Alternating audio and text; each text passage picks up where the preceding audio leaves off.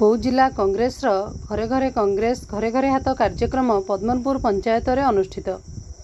ବୌଦ୍ଧ ଜିଲ୍ଲା କଂଗ୍ରେସ କମିଟିର ସଭାପତି ଶ୍ରୀ ନବ ମିଶ୍ରଙ୍କ ଆହ୍ୱାନକ୍ରମେ ଆଜି ବୌଦ୍ଧ ଜିଲ୍ଲା କଂଗ୍ରେସ କମିଟି ମୁଖ୍ୟ ପ୍ରବକ୍ତା ଶାନ୍ତନୁ ମହାପାତ୍ରଙ୍କ ନେତୃତ୍ୱରେ ଜିଲ୍ଲାର ବୌଦ୍ଧ ବ୍ଲକ ଅନ୍ତର୍ଗତ ପଦ୍ମନପୁର ପଞ୍ଚାୟତର ମୁକୁନ୍ଦପୁର ବୁଢ଼ୀପଦର ଦାମୋଦରପୁର ପଦ୍ମନପୁର ଗ୍ରାମରୁ ଆରମ୍ଭ କରି ଘରେ ଘରେ କଂଗ୍ରେସ ଘରେ ଘରେ ହାତ କାର୍ଯ୍ୟକ୍ରମର ଆରମ୍ଭ କରାଯାଇଥିଲା।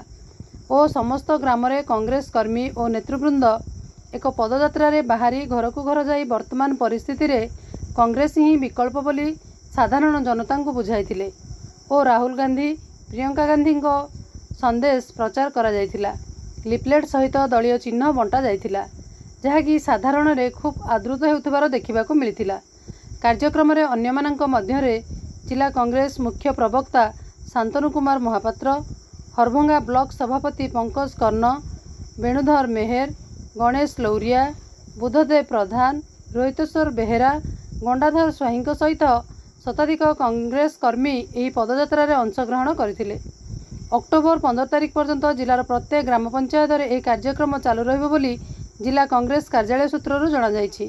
ଏହାପରେ ଜିଲ୍ଲା କାର୍ଯ୍ୟାଳୟରେ ପ୍ରତିକ୍ରିୟା ରଖିଛନ୍ତି ଜିଲ୍ଲା ମୁଖ୍ୟ ପ୍ରବକ୍ତା ଶାନ୍ତନୁ ମହାପାତ୍ର।